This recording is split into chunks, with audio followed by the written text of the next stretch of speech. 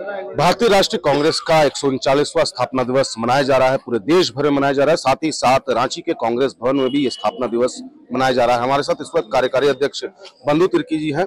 बंधुदा जिस तरीके से स्थापना दिवस पूरे देश भर में मनाया जा रहा है, राजधानी रांची में भी मनाया जा रहा है, क्या कुछ कहेंगे देखिए, एक सौ साल जो स्थापना दिवस कांग्रेस पार्टी मना रही है, इसके लिए पूरे देशवासियों की शुभकामना, कांग्रेस जनों को शुभकामना। एक लंबी दूरी तय करने के बाद एक बड़ी चुनौती है, जो अलगावादी ताकतों से लड़ना है। इसके लिए हमें आज संकल्प लेने की ज़रूरत है, और हम एकजुट होकर के ऐसे फिरकाप्रस्त ताकतों के खिलाफ एकजुट हों, और आने वाले 2024 में उनको हम शिकस्त दें। इसके लिए हमें तैयारी करने की आवश्यकता है। बंधुदा अगर बात करें कांग्रेस की तो जिस तरीके से नए प्रभारी आए हैं और अविनाश पांडे को एक बड़ी जिम्मेवारी मिली है, क्या लगता है कि कितनी मजबूती अब मिलेगी नए प्रभारी बनने के बाद?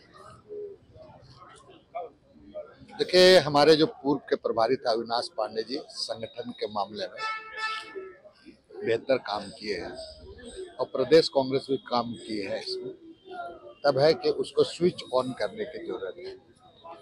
हमारे जो नए प्रभारी आएँगे, उनसे बातचीत करने के बाद हम कोशिश करें कि माइक्रो लेवल पर कैसे जाए, नीचे आम जनताओं के साथ कैसे हमारी कनेक्ट हो कनेक्शन हो।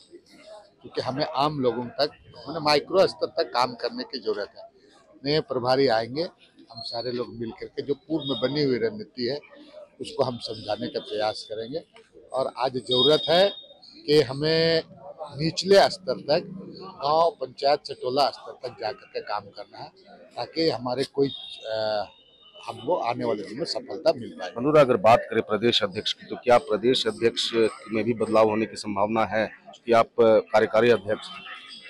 देखिए ये तमाम चीज़ें तो हमारे राष्ट्रीय नेता तय करते हैं और जो परिस्थिति है उसके बारे में राष्ट्रीय नेताओं को इसमें सोचना है क्योंकि आने वाले दिन में चुनाव है।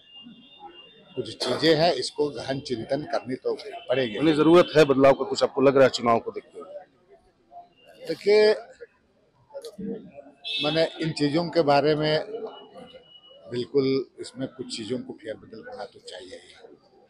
बिल्कुल तो ये थे बंधु तिर्की जिन्होंने इशारों इशारों में कह डाला कि एक बड़ा फेरबदल का ज़रूरत है और ऐसे में इन्होंने प्रदेश अध्यक्ष की भी बात कही है और फेरबदल जो है वो जो है होना चाहिए। अपने सगे नवल के साथ अंकुर सिन्हा, समाचार प्लस, रांची।